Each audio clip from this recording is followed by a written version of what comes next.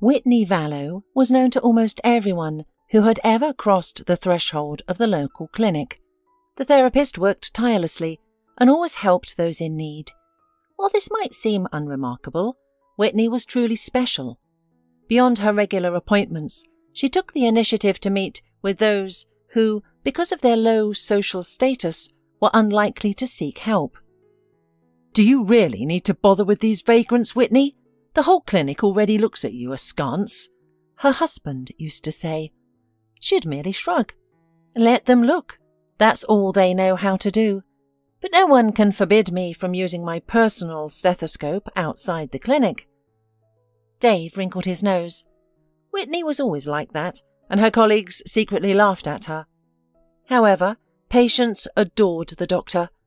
Part of her popularity stemmed from the video blog she maintained, offering residents valuable health advice. Today, the day stretched like a rubber band. Sitting in her office, Whitney glanced out the window periodically. It was overcast, the sky blanketed with clouds threatening rain. Whitney, may I leave early today? I live in the suburbs and need to catch the bus. The weather's awful, and I forgot my umbrella, the nurse asked cautiously. Whitney looked up from her paperwork and nodded. Of course, go ahead. The day's almost over anyway, and it's unlikely anyone else will come in. A sweet smile immediately played on the nurse's lips. Thank you.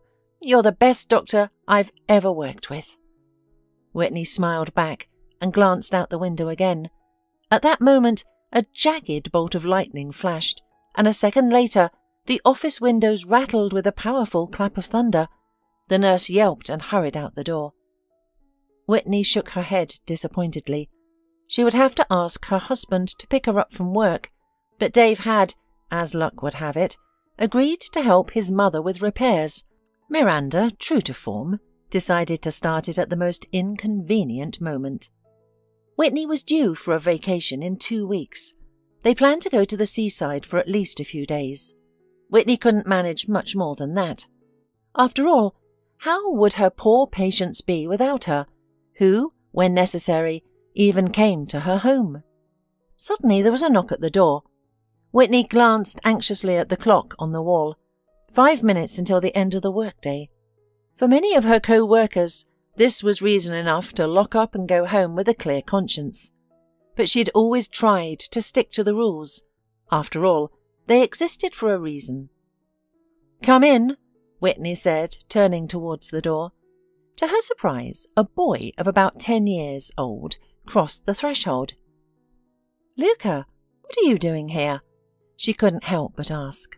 Whitney knew this little orphan, who occasionally ran away from the orphanage, roaming the city in search of small treasures like candy or fresh pastries.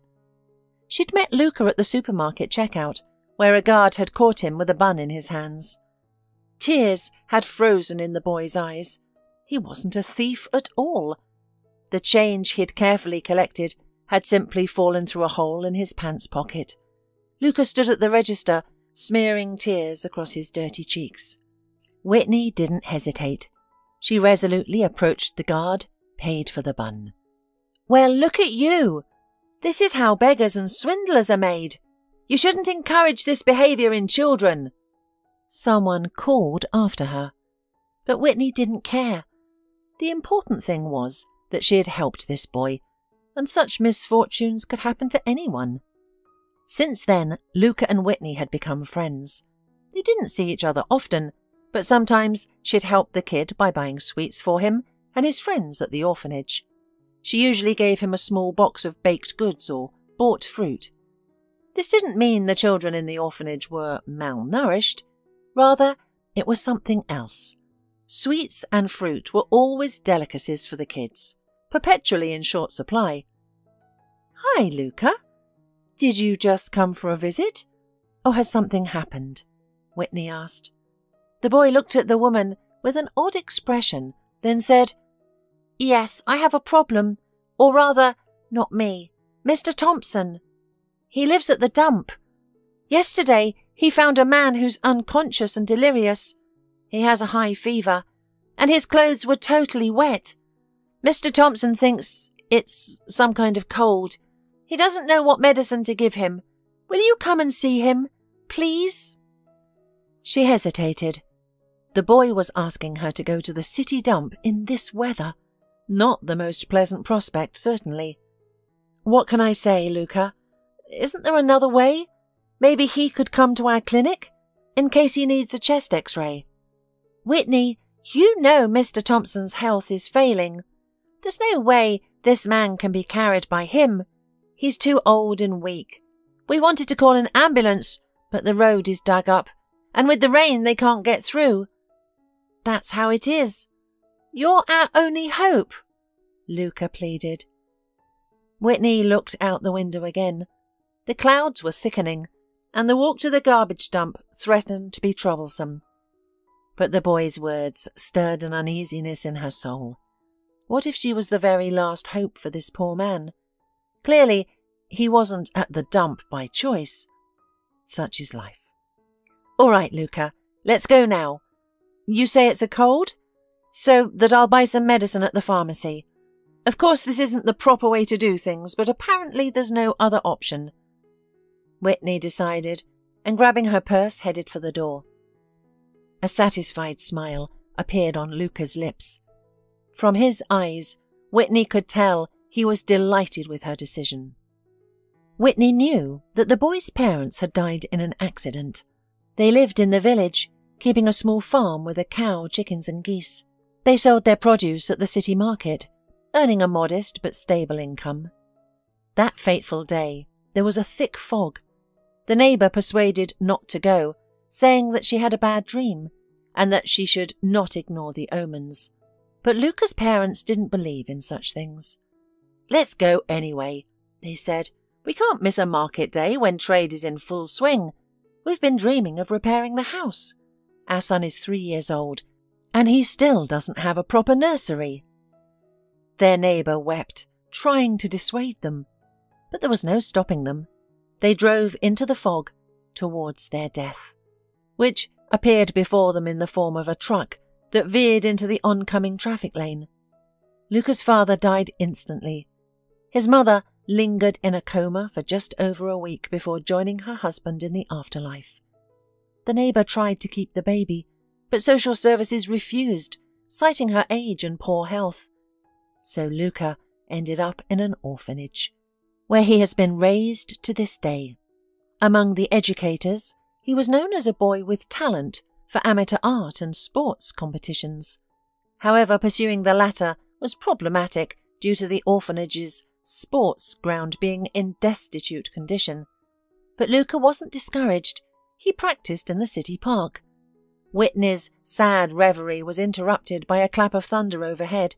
Startled, Luca jumped up and looked resentfully at the sky. Don't worry, my little friend. Everything will be all right. It'll rumble for a bit, then stop. Whitney smiled and quickened her pace. On the way, they stopped at a pharmacy to buy some essential medicines for treating colds. After that, Whitney took the boy by the hand and led him to the bus stop. It seemed safer that way. It might be raining, but they'd have a roof of the bus over their heads. Thunder rumbled and lightning flashed all around, but oddly, there was no rain. The air seemed charged with energy that couldn't find its release. A sense of moisture hung in the air, eager to fall upon the city.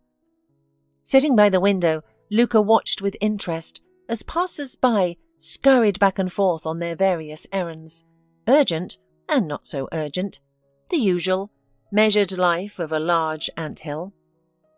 Having reached the terminus, Whitney and Luca got off the bus and headed towards the dump, identifiable by the characteristic smoke that from afar looked more like a ghostly haze.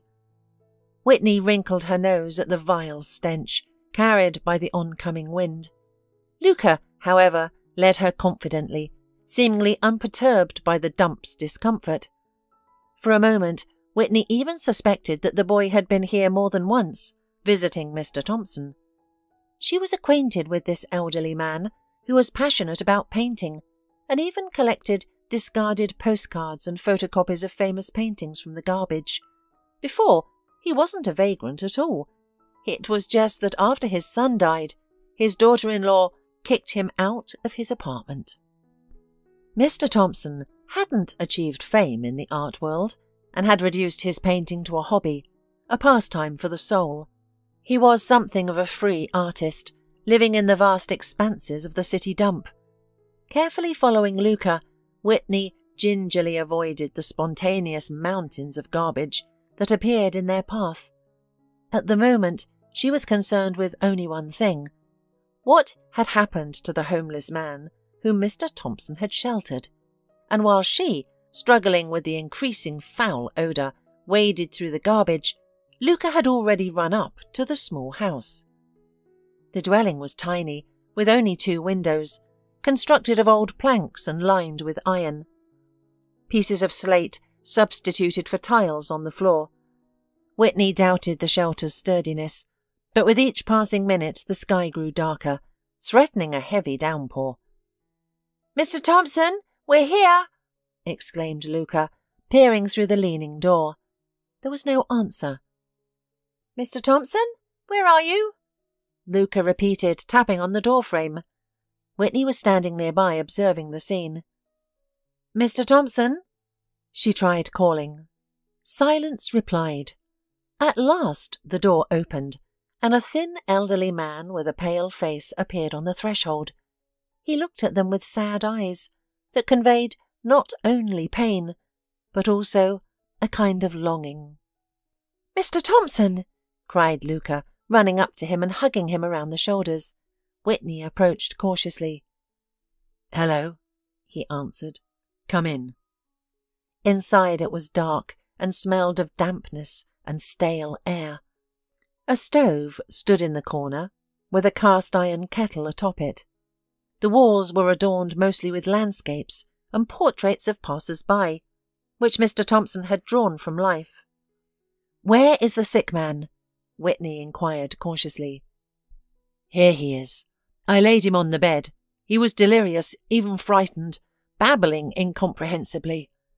Then the poor fellow lost consciousness, said Mr. Thompson. Whitney approached the man lying on the makeshift bed. He appeared to be about thirty, with regular features, slight stubble, and an unnatural thinness. Dark circles under his eyes indicated his poor health. Placing her hand on his forehead, Whitney immediately detected a high fever. Putting her stethoscope to the patient's chest, she heard characteristic wheezing in the lungs.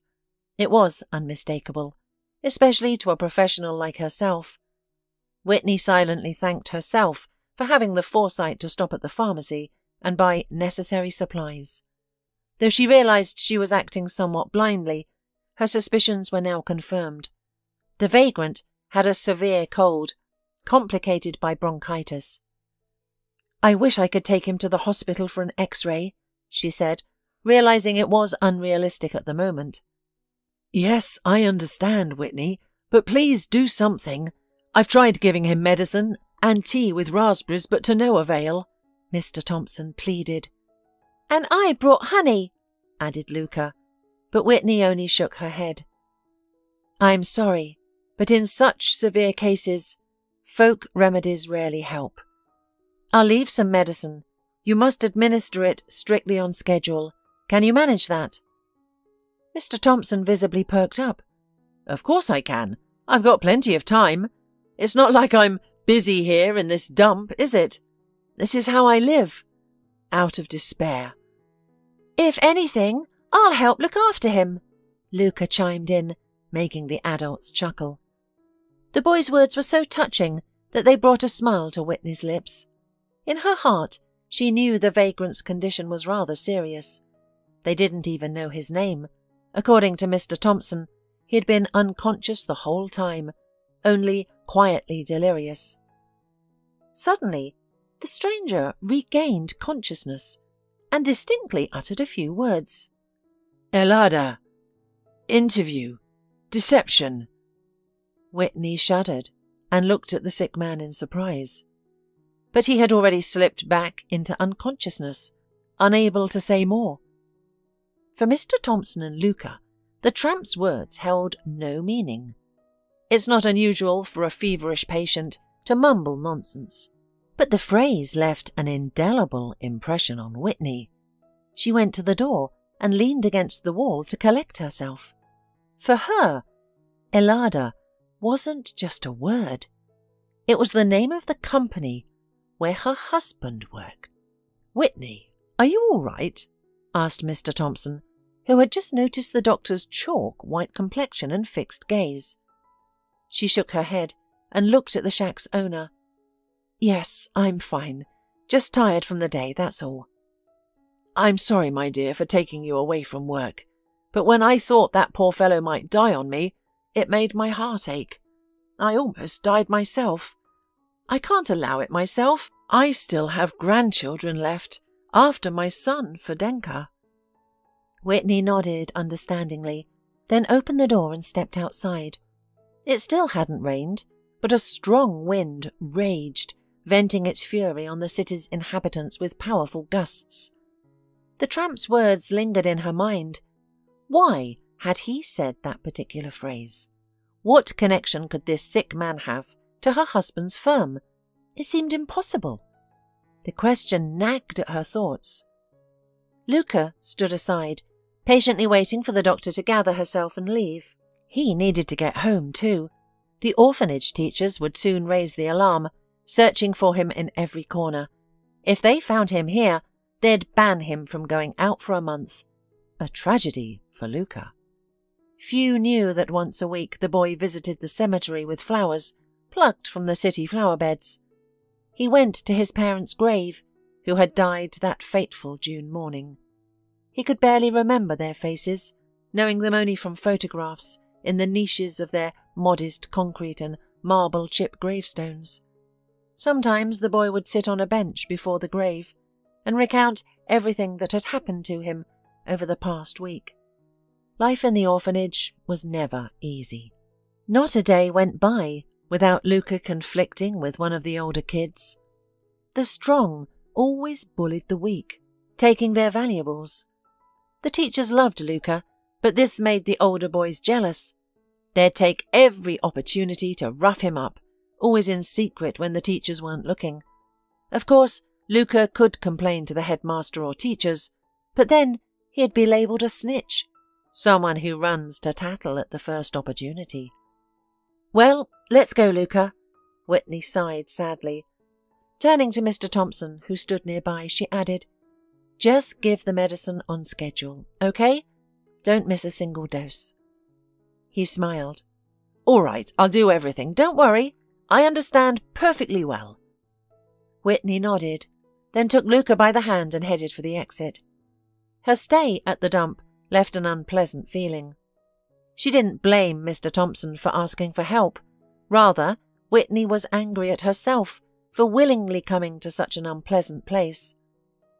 Her clothes were dirty now, and she'd have to explain the persistent odour to her husband. The tramp's delirious words kept replaying in her mind, making it difficult to focus on anything else. She found her way back easily, not needing to rely on her young guide, who had navigated the mountains of trash so well. When they finally left the dump, dusk had softly fallen. Whitney glanced furtively at her smartphone screen, but there were no calls or messages from Dave. She felt a pang of hurt that he hadn't even sent a brief text. Deep down, a sense of resentment grew, fueled by a spark of suspicion. Recently, her husband seemed changed, cold, aloof, often locking himself in his office for hours. At first, Whitney attributed it to work problems, which her husband always had plenty of. But then she learned from Dave's colleagues that the company was doing more than fine there was nothing to complain about. So, how to explain Dave's behaviour? On her friend Natasha's advice, she had repeatedly checked her husband's shirt collars for lipstick traces or the scent of women's perfume, but there was nothing. What then could explain his unpleasant coldness? Could he have found another woman and be carefully hiding it, savouring the delights of a secret affair? Realizing it was unrealistic to wait for a bus at such a late hour, Whitney decided to call a taxi. It would be much more convenient. Luca would get to the orphanage on time, and the exhausted Whitney could rest a bit gazing out the window. The cab driver turned out to be understanding. He winked at Luca, kindly opened the front door, and helped Whitney into the cabin. Luca sensed something incomprehensible was going on with his acquaintance, but due to his young age, he couldn't guess what was the matter. Whitney's brain kept circling the same phrase and the name of her husband's company. She also wondered why was this strange tramp wet from head to toe? It hadn't rained that day, and Whitney knew it for sure. One could only get so wet in the river that divides their city in half and flows deep into the vast homeland. At that moment, Whitney was torn from her thoughts because the cab stopped at the orphanage. Kissing the boy goodbye on the cheek, she led him to the gate, where the teacher noticed them. Wait, where are you going? So it's you Luca runs away to all the time, the woman began without preamble. Whitney turned pale and involuntarily took two steps back. I don't understand what you're getting at. Yes, I know Luca, but that doesn't mean he's running away to me. The teacher wrinkled her nose. Listen, you can tell these stories to anyone you want, but not to me. I'm responsible for Luca, and if anything happens, all the teachers will be punished. In the worst case, they might even face legal consequences. Mrs. Jones, why are you like this? Luca began to plead with the teacher, but it had no effect on her. The woman looked unpleasantly at Whitney, as if she were the culprit of all their troubles. Whitney's mood soured completely. This was not the reception she had expected at the orphanage. Moreover, she wasn't really to blame for Luca turning to her for help. And if they were all so right and smart here, why did their pupils run away from them in broad daylight and wander the city risking trouble? But Whitney didn't want to voice these thoughts, of course, so that Luca wouldn't be punished because of her. She'd rather let the teacher believe she was responsible for his escapes than punish the child who was already suffering from living without parents. Excuse me, Mrs. Jones. Don't worry about Luca, he will really improve. Whitney tried to smooth over the awkward pause. The teacher grinned, but at that moment a cab driver's horn sounded behind them, reminding Whitney that they had to go. She waved goodbye to Luca and hurried to the car. She didn't say a word the whole way. Occasionally, looking at her in the rear-view mirror, the driver lost himself in speculation about her work. Who could this sad woman with tears in her eyes be? It seemed unlikely that she worked in an office or was associated with hard physical labour. Except for the sadness in her eyes, Talking a lot, trying to distract the passenger from sad thoughts, the chauffeur tuned the local radio station to play music. At first, it even annoyed Whitney. She wanted silence. At one point, she even opened her mouth to make a remark when an announcement about Alfred Grollman, whom only a lazy person in the city didn't know, sounded out loud. He was a rich man a philanthropist who spent fabulous sums on charity, trying to help everyone in need. The first time Whitney heard about him was when he allocated new equipment for their clinic. At first, she thought it was just a PR campaign to gain a reputation. But when Mr. Grollman refused to be filmed or publicised, Whitney's respect for him grew. Still, not everyone from the rich of this world would do such a deed. No matter how you spin it, One's own shirt is closer to the body, and money warms the pocket. Hearing a familiar name, Whitney listened. It turned out that an unfamiliar man had rescued Alfred Grollman's daughter when she and her friends had gone to the river. Taking selfies on the bridge, the teenagers laughed and competed to see who would take the best picture. At some point, Bianca Grollman leaned over the railing and fell into the water. Everything happened so quickly that no one had time to react. Some shouted for an ambulance, others waved their hands in doom, thinking that the turbulent waters of the river had already done their damage. only one outwardly unremarkable man dared to dive into the water. For some time he wasn't seen, and some ill wishers had already started saying he'd drowned with the girl. People gathered on the bridge, filming and commenting on social networks, watched what was happening. Probably at this moment, it seemed to them that they were watching a movie with a happy ending, and the director would soon inform everyone about the successful completion of filming. But this was life, harsh and cruel in its ruthlessness and attention to detail. Then suddenly, a man's head appeared on the surface. He was with a girl who clung to his shoulder, desperately trying to stay afloat. The stranger swam toward the shore, using his legs and his whole body. Even though his wet clothes were pulling him down, he held steady in the water, making sure the girl didn't suffocate. But despite his best efforts, he pulled already the senseless body of Bianca to the shore. It was impossible to delay. The stranger immediately tried to clear her lungs of water, putting her on her side. The unwilling spectators of the unfolding drama covered their eyes in horror when they thought Bianca had died. But the brave man knew what he was doing, and soon the girl began to cough hoarsely, finally clearing her lungs of water. At that moment, the police and ambulance arrived at the scene and dispersed the onlookers and eyewitnesses of the tragedy. In the commotion, the man who had saved Bianca blended into the crowd, wishing to remain anonymous. He was the one Mr. Grollman was now looking for, to thank and show the city their hero. Given Mr. Grollman's capabilities, one could only guess at the size of the reward. Ah, lucky that one. I wish I'd been in his shoes. He'd be driving a brand new car by now, the cab driver said enviously. Whitney cringed, imagining how this man with his globe like belly would dare to jump into the speedy water. A thought suddenly struck Whitney.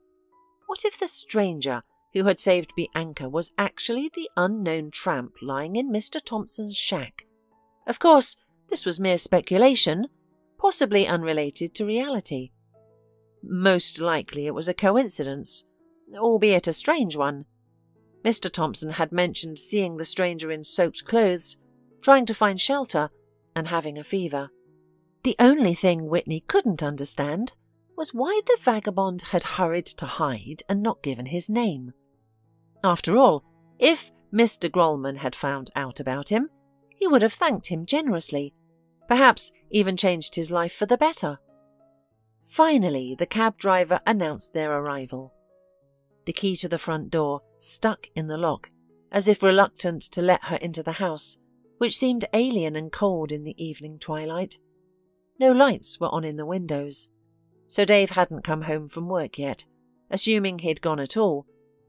Whitney squeezed the key harder, pushed on the handle, and the door opened smoothly, revealing chaos inside the apartment. Dishes on the table, things scattered on the floor, traces of haste in every corner. The scene was unpleasant. Her heart clenched with anxiety, a premonition of trouble creeping into her soul. Her gaze fell on a note lying on the kitchen table, next to an unfinished cup of coffee. Whitney, I'm sorry. I can't live like this anymore. Got myself into a situation you wouldn't understand.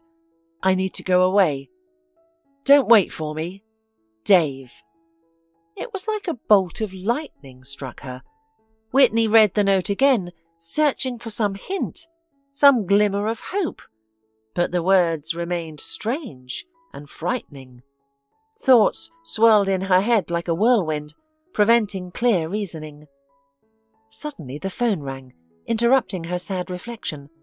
Her mother in law's number appeared on the screen. Whitney, are you home? Miranda's voice trembled with excitement. Yes, she answered, trying to contain her anxiety. What happened? Dave, I can't reach him. Where is he? The mother in law interrupted. Miranda, I don't know either. He left a note and disappeared. Whitney replied. He says he got into some sort of trouble. In trouble, then, said the mother in law bitterly. I think because of you. Because of me? Whitney was indignant. What do you mean? What do I mean? The mother in law's voice rang with discontent. You can't give him what he needs. Children, peace, comfort in the house. You're a bad wife and bad mistress of the house. Whitney trembled. She had known before that her mother in law disliked her.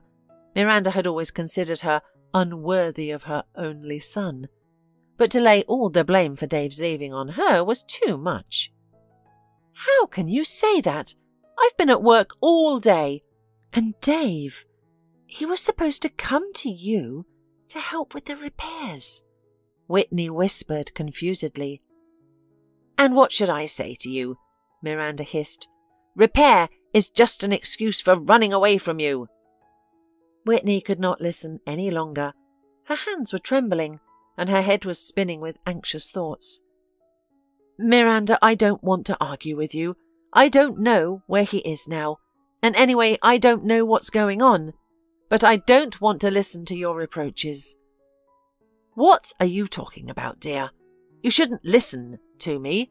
You should act to bring Dave home as soon as possible. Her mother in law snapped. Contact all his friends, acquaintances, all his business partners. Call them, text them. But find him, or you'll never accomplish anything in this life. You're a complete non-entity. Whitney hung up without replying. She turned away and went to her room, feeling hurt and resentful. She had invested all her strength and emotions into this marriage, but her mother in law refused to acknowledge her. Miranda only wanted to see her son, to exert her power over him. She approached the window and gazed out at the dark street. The wind rustled outside, mirroring her inner turmoil. What shall I do now? she murmured. How do I find Dave? Her eyes fell on a small note lying on the table. She read it again. The situation remained unclear. The words felt like a sentence. For heaven's sake, what did I do wrong? Why did you run away? Whitney whispered to herself. Struggling to compose herself, she decided that morning would bring clarity. What use was there in tormenting herself with thoughts of this mysterious disappearance? After a hasty shower, Whitney longed for one thing to fall asleep, to dissolve into the soft serenity of slumber, where there would be no alarm bells, no rushed rounds through hospital wards, no endless struggle for patients' lives. But her thoughts persisted like unwelcome guests. She ran her hand over the cold pillow surface and tried to close her eyes, but sleep eluded her. Suddenly, memories of the day she first met her future husband came flooding back. It had happened on a train. She was en route to a conference in the capital when she heard loud laughter nearby. Peering into the aisle, she saw a young man chatting with other passengers. The stranger wore a tracksuit and a brightly coloured t shirt, his eyes twinkling with mirth. He was recounting how he'd lost his travelling bag at the station, and everyone was laughing. Whitney stared at the man, amazed at his inexhaustible energy. She couldn't understand how he could be so cheerful on such a tiring trip. There was something unusual about him that drew her in. As she was about to turn back, she heard behind her, Hi? You look like I've surprised you somehow. She turned again to find the stranger in the tracksuit standing right behind her, flashing a dazzling smile. Yes, I am, Whitney replied with a small smile. I couldn't believe someone could be having so much fun on this trip. What's the big deal? Dave asked. Do you think it's impossible to enjoy a train ride? Well, I suppose not, Whitney answered, but I usually sleep most of the time during trips. Where are you headed? Dave inquired. To a conference, she said. I'm a doctor. My name's Whitney. Wow, how interesting. I'm going to the capital too. And my name is Dave Vallo. They spent the rest of the journey engrossed in conversation. Dave told her about his work and his dreams. Whitney listened, watching him with fascination. She admired his energy and cheerfulness. The fact that he was sales manager didn't diminish her impression. To her, Dave seemed capable of being anything a pilot, a builder, an actor, because she saw in him boundless potential and felt in her heart an inexhaustible spirit. As Whitney bid farewell at the train station, she was unaware that a little bit of time would pass and she and Dave would become husband and wife. The next morning, Whitney awoke to the insistent ringing of her phone on the nightstand. Usually she woke up because she was pulling her hand to turn off the alarm clock, but today it had been turned off last night. She turned sideways and looked at the empty half of the bed. The phone rang again, insistent, anxious. It was the fourth time, and Whitney realized it was from work. The ringing persisted, urgent and alarming. It was the fourth call, and Whitney realized it was from work. With a heavy sigh, she answered. Hello, Whitney. Can you do a shift today? The head of the department asked. I'm sorry, I can't.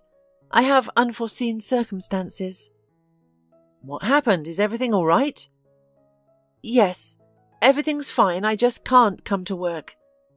I have a family problem. I see. How long will it take to resolve? the boss inquired. I'm not sure yet. A few days, I suppose. All right, Whitney. Just don't forget, we're waiting for you. Yes, I won't forget. Thank you.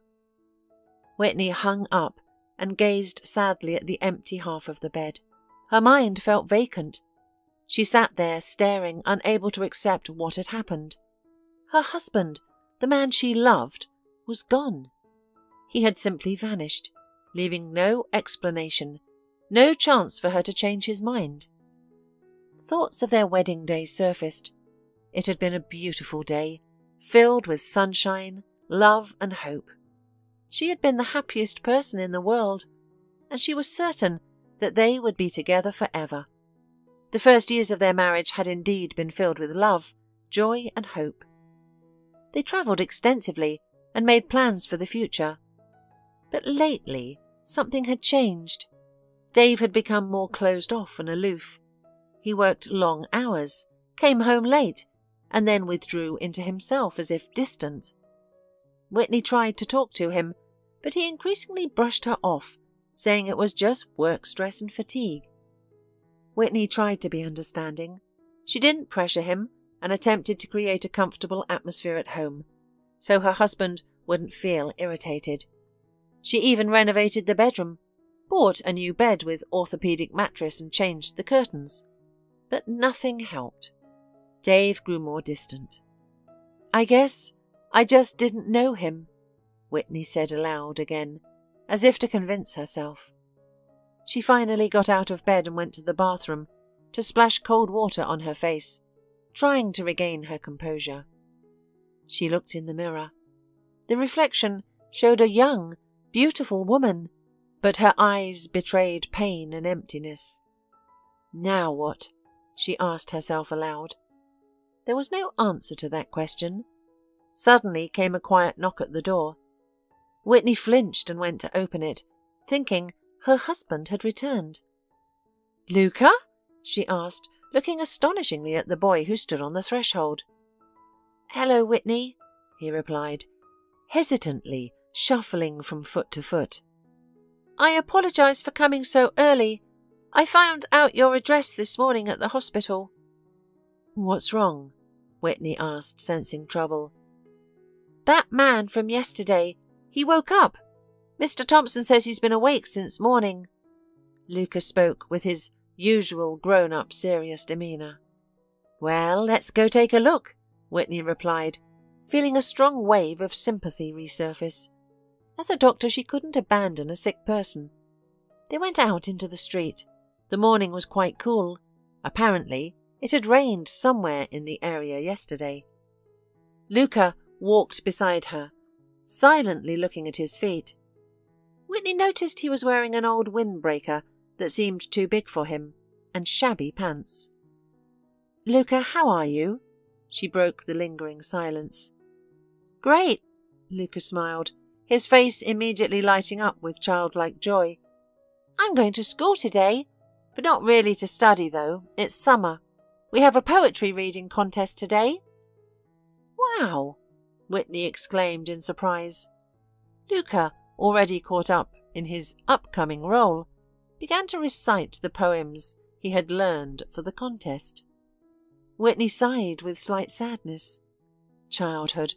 How wonderful it was that children at least had childhood with its joys, dreams, and belief in fairy tales. Meanwhile, the junkyard came into view. Even though she had been here yesterday, she still couldn't accept that such a place existed so close to the city, where people lived impoverished and despair. Mr. Thompson, are you home?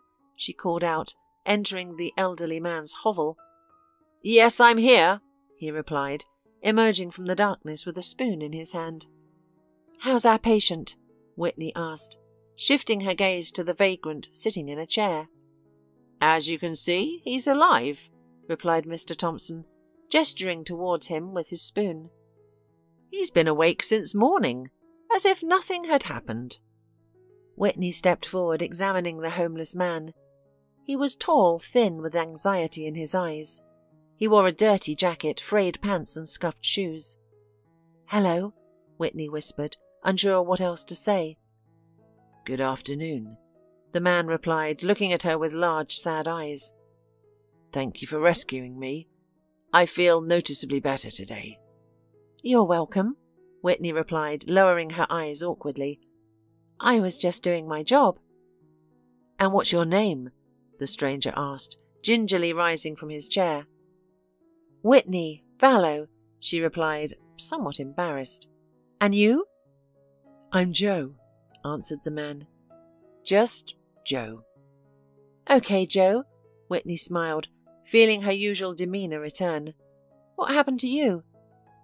Tell Whitney what happened to you the other day, Mr. Thompson suggested. The man clenched and unclenched his fingers, as if fidgeting with invisible beads, and began his story hesitantly. You know, I thought life had given up on me. I haven't had a job in a long time, and I have less and less strength to carry boxes. And they don't hire me everywhere. Whitney nodded, understanding. Well, a couple of days ago, Joe continued, I saw an ad. The firm Ilada needed movers. I thought maybe it would work out after all.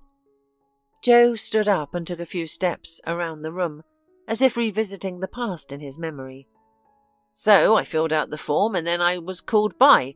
Well, the head of the department, I guess. Dave Vallo was his name. Suit, tie, ring on his finger, and a face, you know, so arrogant, haughty. A pretty girl was hanging around him all the time. At this point, Joe paused, as if reliving those unpleasant moments. But Whitney at that moment almost lost her senses. After all, it was her husband with some beauty. Was it really true? Meanwhile, Joe continued. Well, they said they didn't want a deadbeat like me, and they'd already found a suitable candidate. Really? Whitney asked, surprised, barely containing her anger. Yes, they began to mock me and drove me away. They said they didn't need such a loader. And then what happened? Whitney asked, almost in tears, no longer caring about the questions. Now she understood where her Dave had disappeared to and what problems he had mentioned in the note. And then, then I went to the river just to calm down and fish in it. When I got there, I saw a girl fall off a bridge, so I rushed to save her.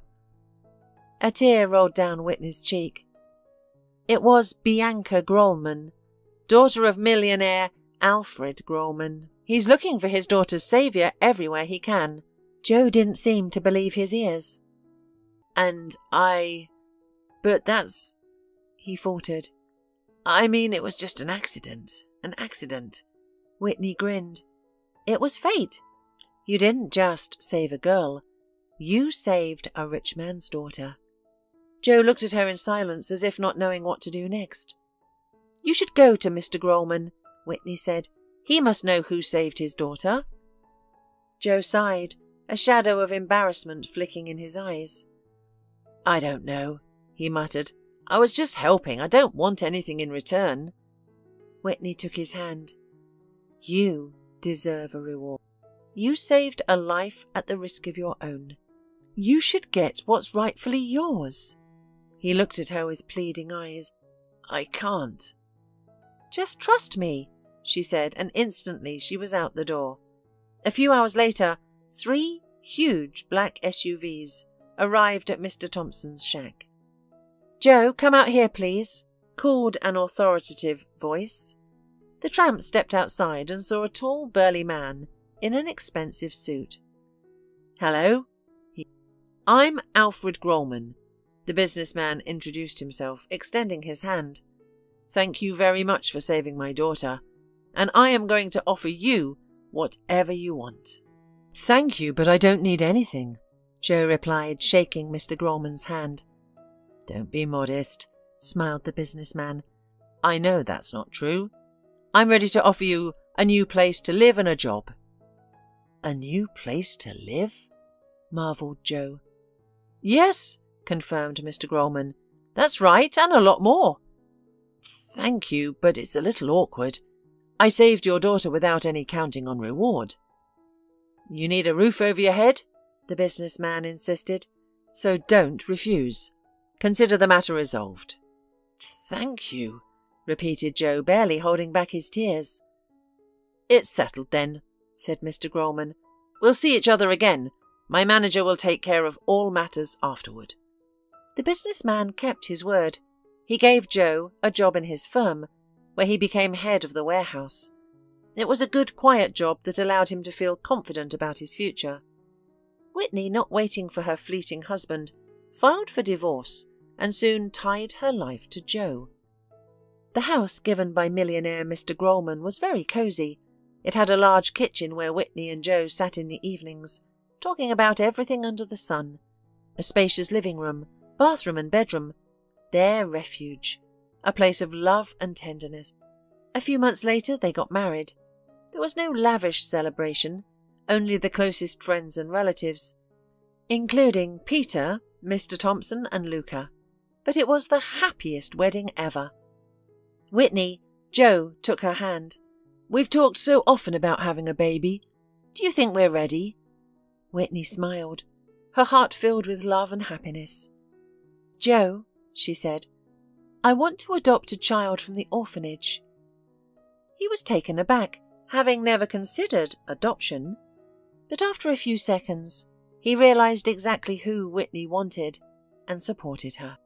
Good, he said, winking at his spouse. Let's do it, especially since we already have one boy in mind. Whitney smiled. She was glad that Luca would finally get a chance at a normal life. At first, Luca was shy, unable to believe he would have a real family. But Joe and Whitney patiently convinced him that they loved him and would take care of him. Luca, Whitney said, hugging him, you're our family now. You have us, and we will never leave you.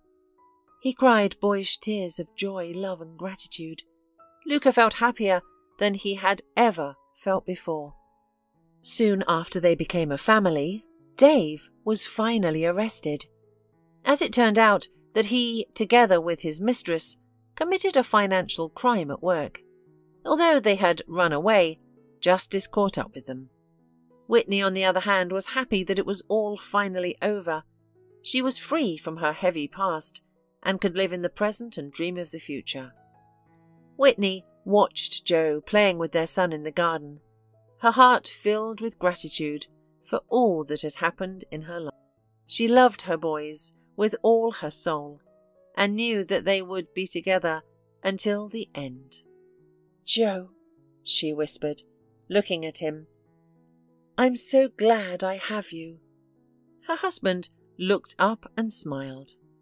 He was happy too.